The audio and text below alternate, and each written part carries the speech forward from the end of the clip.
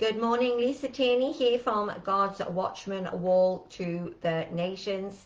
This is Love's Living Word Ministries. Have you checked out the new Watchman warnings? They are for you to be praying about. We are grateful that you would pray through for the Father because He uses us to pray as His vessels for the kingdom so that we can see things change, including people transitioning from this earth into being with the Father.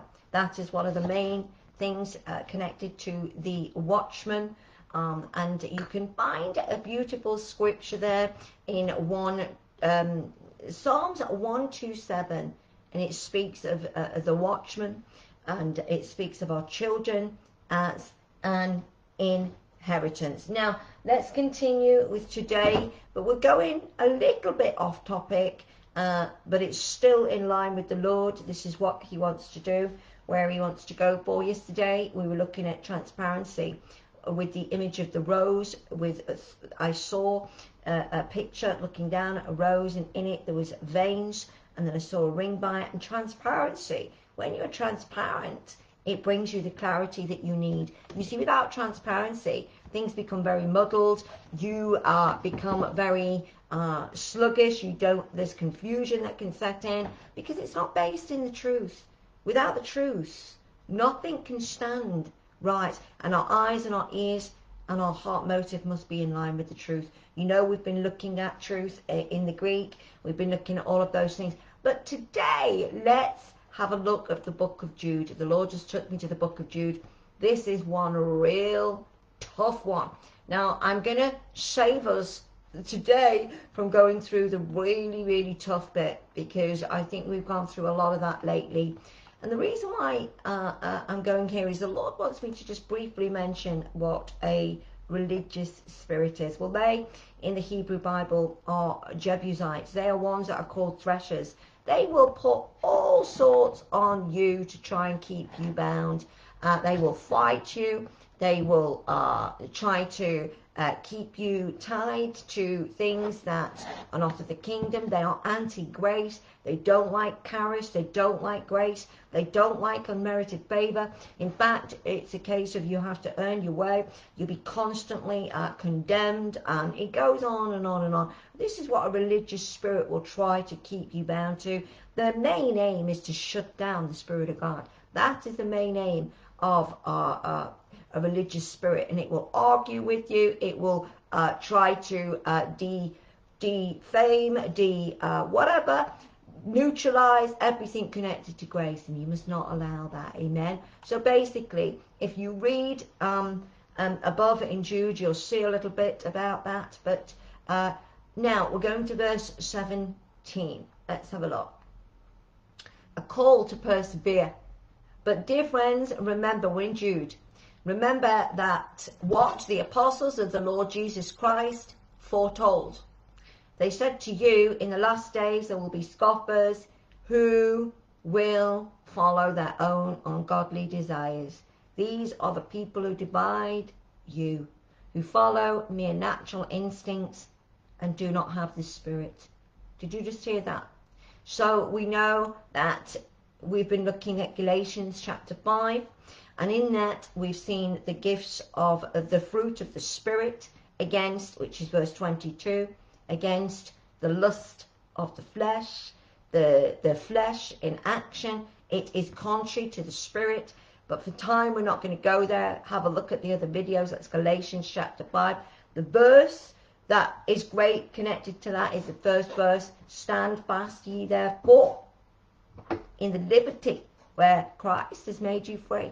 Do not go back and entangle yourself or allow anyone to entangle you again to slavery and bondage. And the religious spirit is very good and that's its main aim of trying to get you back enslaved in bondage. Get you back chained up so that you feel that you are no longer free. And actually, I'm here to tell you today that Jesus paid in full once and for you. You are free for who the Son set free is free indeed. We're going to uh, uh, verse 20. That you, Jude chapter 1, dear friends, by building yourselves up in the most holy faith and praying in the Spirit. Keep yourselves in God's love. Did you hear that? So there is a connection between the most holy faith and praying in the Spirit. And it keeps you in God's love as you wait for the mercy of the Lord Jesus Christ to bring you to eternal life. So you see, God is merciful. He's not a one that would try to bring taskmasters uh, down on your head, condemn you, tell you that you're not free, that this, that, that. No, no, no. He is merciful. And then he's asking you in verse 22 to be merciful to those who doubt. Did you hear that? So there's going to be many who doubt. There are going to be so many people who don't believe. Don't believe fully. They're not fully anchored in the truth. They're wishy-washy. But you've got to be merciful to them. Save others by snatching them from the fire. Did you hear that? To those others show mercy, mixed with fear, hating even the clothing stained by corrupted flesh. I want us to take a look at Romans and we're in chapter 3. I'm going to go down a little bit further because I want to speak about Jesus Christ. Uh, just last night we had an image, two of them. Uh, one was a bruised reed uh, and another one was the tender shoot and that is Jesus. That is who he is. He uh, was brought up in really, really fallow ground, very dry ground, a tender shoot. You'll find this in Isaiah 53 and he was acquainted with sorrow he was acquainted with all of these things. He paid in full for you and for me so that you don't have to go through that. Okay. Verse uh, Romans chapter 3 therefore the deeds of the law shall no flesh be justified in his sight for the law is the knowledge of sin. Did you just hear that? So if you're very conscious of sin if you're very conscious of people's sins, you're very conscious of sin, sin, sin, sin, sin, it's the law. But you see, we have a greater one. We have grace, unmerited favor, unmerited favor, and that is Jesus Christ. He is grace, and he is our propitiation. So verse 22, Romans 3, even the righteousness of God, which is by faith in Jesus Christ, is unto you. Oh, let's just go back. Okay. Sorry, verse 21. But now the righteousness of God without the law is manifest, being witnessed by the law and the prophets. Verse 22. Even the righteousness of God, which is by faith. Hear that? It's by faith in Jesus Christ unto all and upon all of them that believe. For there is no difference. Hear this, all have sinned and come short of the glory of God. But it doesn't stop there. It says, but being justified freely by his grace. Wow. Through the redemption that is Christ Jesus. Verse 25. Whom God hath set to be a propitiation through faith in his blood to declare his righteousness for the remission of sins that are past. Did you hear that? Through the forbearance of God. I'm going to go back because this just smashes this religious spirit in two. Amen. Verse 25. Verse 24. Being justified freely by grace through the redemption that is Christ Jesus. Did you just hear that? whom God has set forth to be the propitiation through faith in his blood, to declare his righteousness for the remission of sins that are past. So the Lord is asking you to stop looking back at your past, stop looking back at all those things, because if you have asked for forgiveness or if you received Jesus Christ as Lord and Saviour, they've been remitted for. He is the propitiation by his by faith in his blood to declare his righteousness over you for the remission of sins that are past through the forbearance of God to declare and I say at this time in his righteousness that he might be just and the justifier of him who believe in Jesus Christ. Did you hear that Jesus Christ, by grace, has remitted your sins of the past? The religious spirit, the Jebusite, will try to keep you bound, will try to keep you chained and condemned in all of those things connected to any past. But Jesus is the propitiation. What is the propitiation? What does it mean? It means the act of gaining and regaining the favor of goodwill. Amen. It means appeasing as a sacrifice, an act of propitiation. And that is what Jesus did. That is an example of what Jesus did when he went on the cross. He became a sacrifice for you and for me and for mankind. We know that, John chapter 3, for God so loved the world. But 3.16, but you see the religious spirit will try to argue and get you out of and looking back and looking onto sin because it is bound by the law. But grace is here. And we've just read it. Verse 24, Romans 3, being justified freely by his grace through the redemption that is Christ Jesus. What is redemption? Well, redemption means being legally bought back. You were legally bought back from the dominion of darkness. You have been translated into the kingdom of his dear son, in whom you have redemption, the forgiveness of sins, the remittance of sins. Christ is our propitiation, the act of gaining and regaining favor or goodwill. It is appeasement of sacrifice. That is what Christ did on your behalf. But where we're going as well is this. So how do we stay in that momentum? How? Well, but you, dear friends, you stay there Okay, let's go back to Jude, verse 17.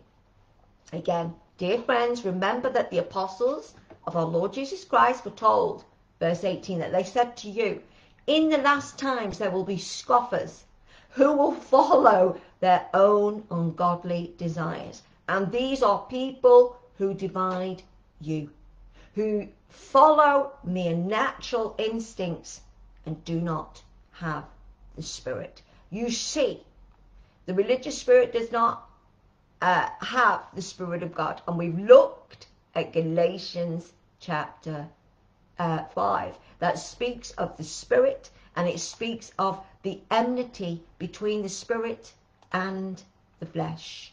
All right, let's go back to Jude chapter 1. We're going to continue.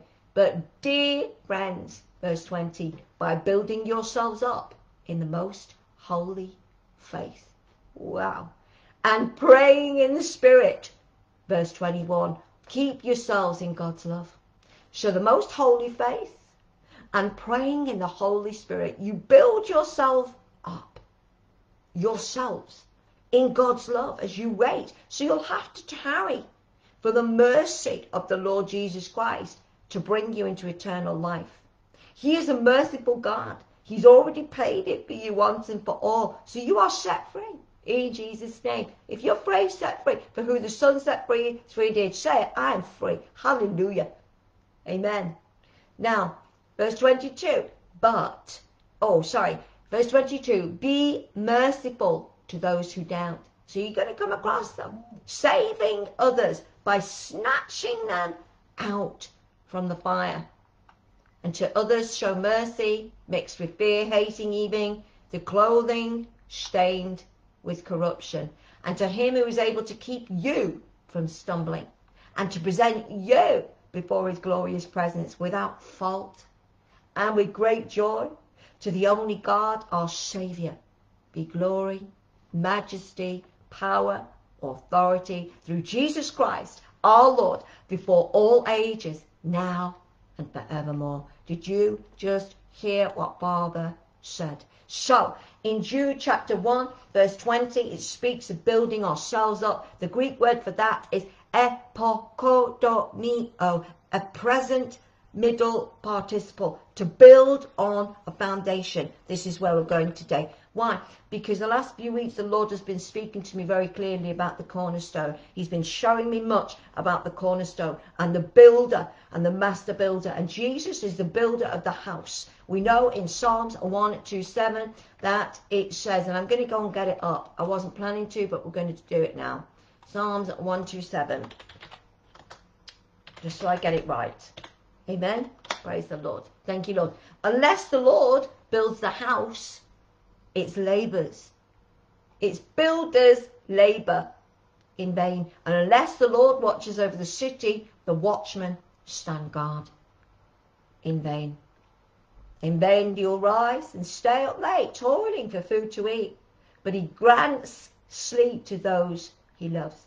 And our children are the heritage of the Lord. Children are our reward. And it goes on. But for time's sake, the builder, did you just hear that? The builder. This is so important. So the Greek word, which I'm trying to find again, is for edification, building up. It is an edification, an act of one who promotes another's growth in Christian wisdom.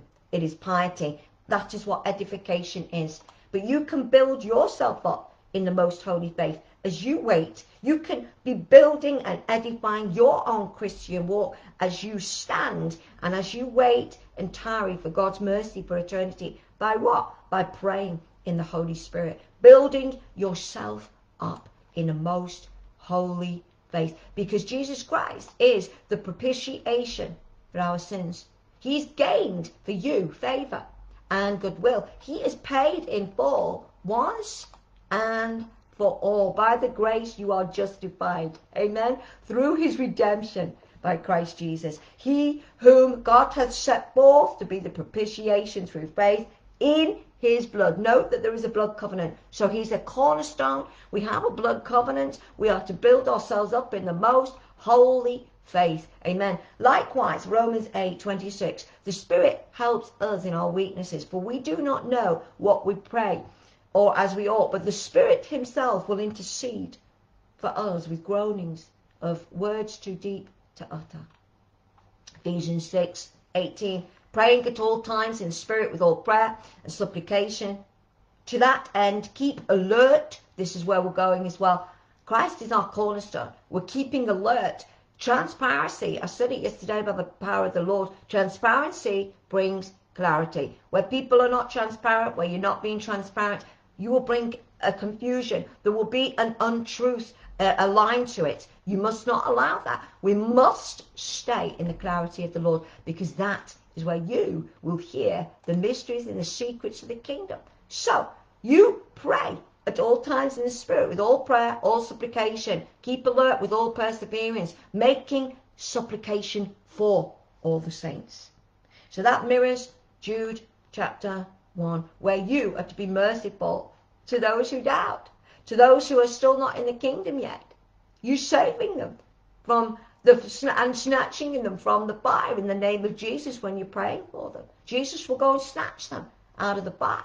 You see, he's a God who loves. That's why he came here. He is the propitiation for our sins. We are to edify ourselves. We're to build ourselves up in the most holy faith.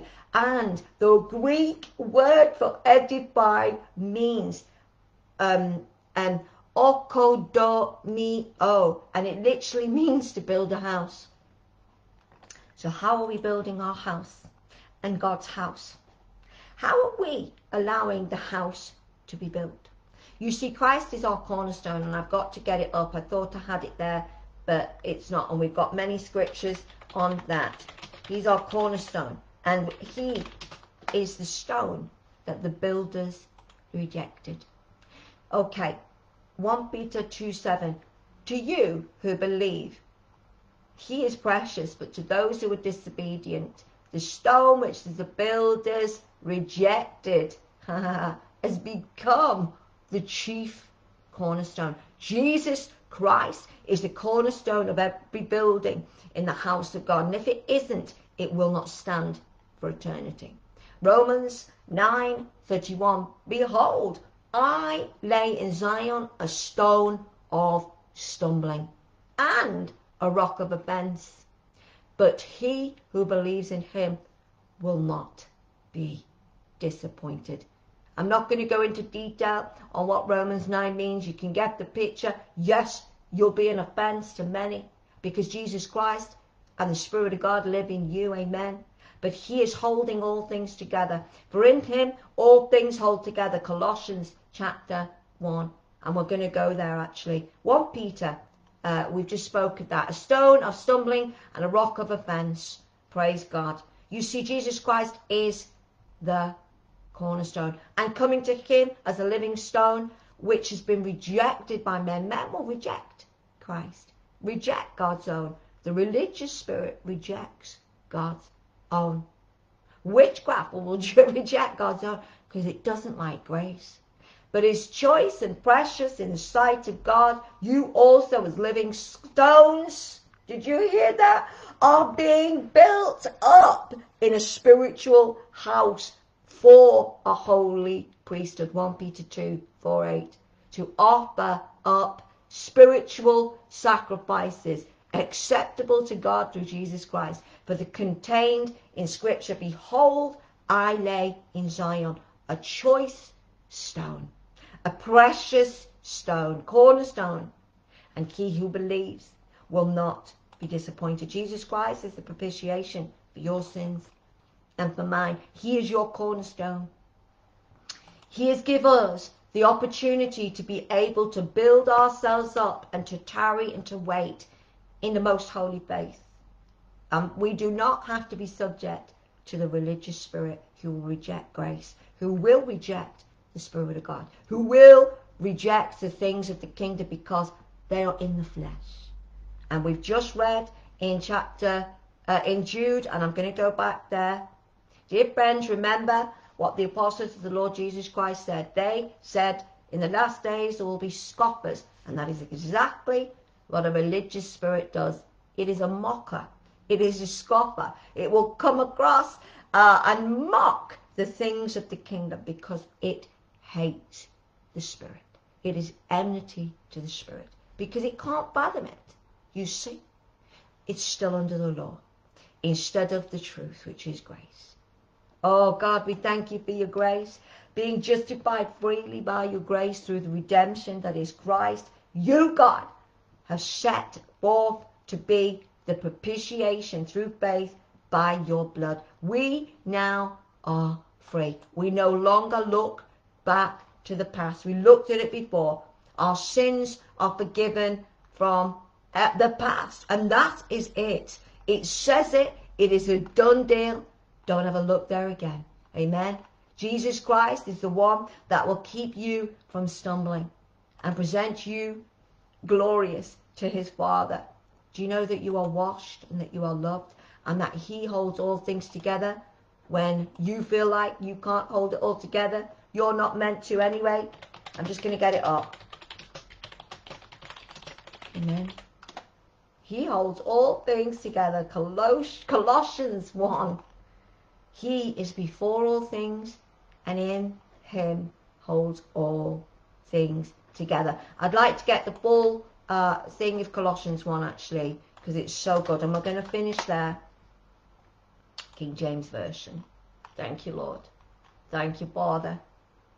Thank you, Lord. Since we've heard, verse 4, of your faith in Christ Jesus and of the love which you have for all the saints, for the hope which was laid up for you in heaven. Wherefore you've heard before in the word of the truth of the gospel, which is come unto you. Did you hear that? It's the truth. As it is in all the world, bring forth fruit. The truth brings fruit, beloved. Clarity and transparency and truth and congruence will bring you fruit. As it doth also in you, since the day you've heard and you know the grace of God in truth. Amen. We're going to go down. Verse 8. Who has declared unto us the love in the Spirit? For this cause we also, since the day we have heard, and this is my prayer for you today, you do not cease into praying to desire to be filled with all knowledge in his will, in all wisdom and spiritual understanding. Do you see as you are praying in the, in the spirit, you're being filled with all wisdom and all understanding. You are, you are being built and edified, just as the Greek word speaks of. You are being built and edified. Edification is apokodomia. How about that? Praise God. That ye may walk in a manner worthy of the Lord, being fruitful in every good work. This is my prayer. And increasing in the knowledge of God being strengthened with all might according to his glorious power, with all patience and long suffering, with joyfulness, giving thanks to the Father who has made us to meet, to be partakers of the inheritance in the light. Hear this. This is Colossians chapter 1, verse 13. Who has delivered us from the power of darkness and has translated us into the kingdom of his dear Son, in whom we have redemption through his blood, even the forgiveness of sins. Don't ever let ever again a religious Jebusite try to keep you bound because you are free. You are free. Jesus said so. He is the image of the invisible God, the firstborn of every creature. For by him were all things created. Did you just hear that? that are in heaven and that are on the earth, visible and invisible. Yes, there are spirits that are invisible. Many angels are here even now as I speak, and by you, whether they be thrones, dominions, principalities in all parts. But the most important one is the Holy Spirit who is living in you. And all things were created by him.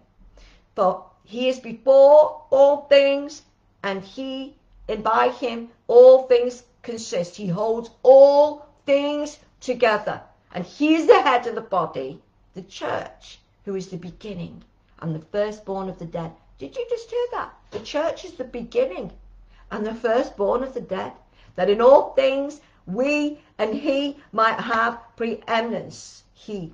For it pleased the Father that in him should the fullness dwell and having been made peace, having made peace through the blood, are you going to receive his peace today?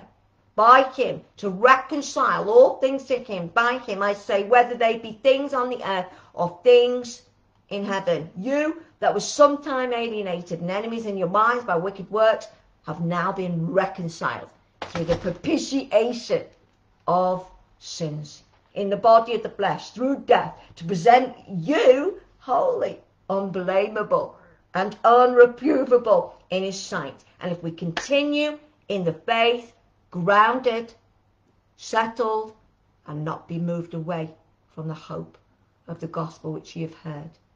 And Father, this I pray today in the name of Jesus for every eye, every ear, Father, that is open to receiving what it is that I speak in Jesus' name, that is open to the Spirit of God.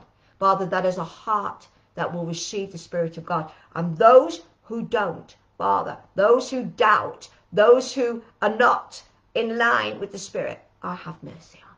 In Jesus' name, we have mercy on. In the name of Jesus. This I pray today in Jesus' name. Remember, He is your cornerstone. He is the Alpha, the Omega, the beginning and the end. He is everything and He holds all things together. Okay? Build yourself up in the most holy faith as you tarry, as you wait and watch what God will do because he is the propitiation for your sins. I'll see you tomorrow. God bless you.